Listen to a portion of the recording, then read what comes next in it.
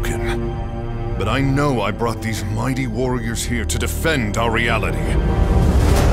High above this strange land is where we'll prepare to stand against him.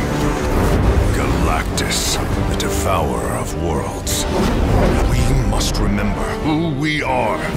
Storm, Iron Man, Mystique, Doctor Doom, She-Hulk, Wolverine, and I am Groot. Indeed. Our greatest war begins here. Now, we will explore this land, regain our powers, and reclaim our memories. Join us. Together, we will defeat Galactus and save all reality!